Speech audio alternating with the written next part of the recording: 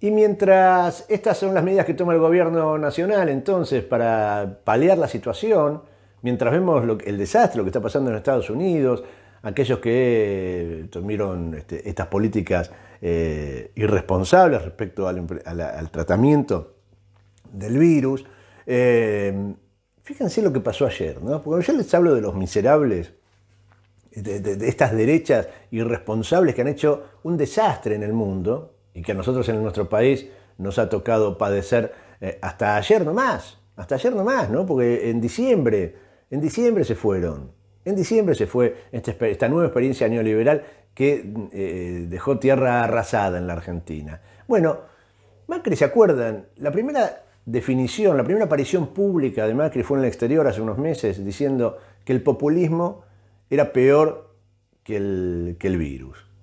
¿Eh? que peor que el coronavirus era el populismo. Una barbaridad, una barbaridad total y absoluta, que ayer tuvo una nueva vuelta de rosca cuando apareció Mauricio Macri firmando junto a mm, Vargallosa eh, un, texto, una carta ¿eh? de la Fundación Internacional para la Libertad, donde se juntan los tipos, los peores, o sea, los peores, pero aparte eh, eh, los peores que muchos de ellos son empleados, digamos, ni siquiera son los, dueños del poder. Son tipos que ponen la cara, dicen, verbalizan lo que los dueños del poder quieren que les digan. Títeres, marionetas, este, que hablan por otro, y son los peores.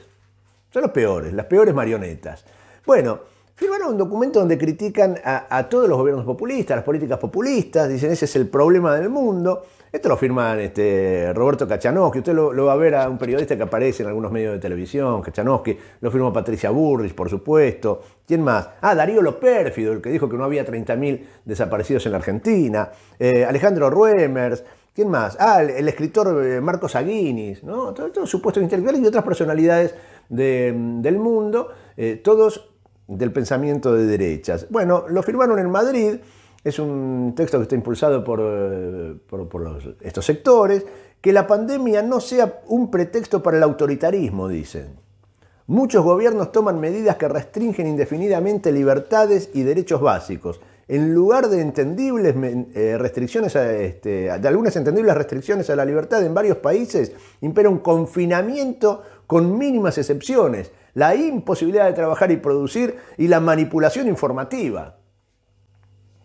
Qué bárbaro, ¿no? Lo que estamos viviendo en Argentina y uno no se da cuenta. Dice, en España y la Argentina, dice Macri, firmando con Vargas Llosa, dirigentes con un marcado sesgo ideológico pretenden utilizar las duras circunstancias para acaparar prerrogativas políticas y económicas que en otros contextos la ciudadanía rechazaría resueltamente.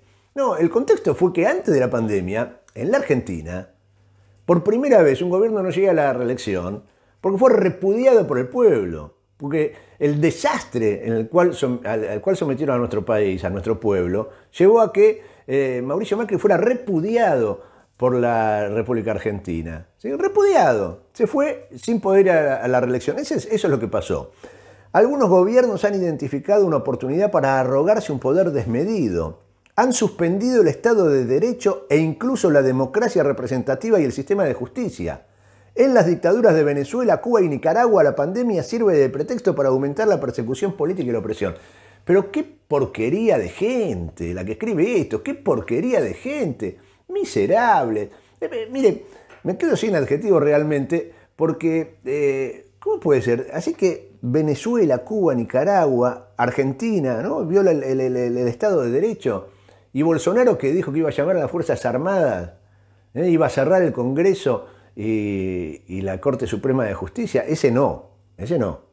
Ese que no atiende lo que pasa con, la salud, no pasa nada. ¿no? La, boliviana que da un golpe de Estado y reprime y no llama médico, no, no pasa nada. Trump, Donald Trump, ¿no? Tampoco. El que dijo, voy a cerrar todo, ahora está, retrocediendo, retrocediendo en chancletas, ¿eh? Trump porque eh, es un desastre, tienen más muertos que en la, guerra de Vietnam.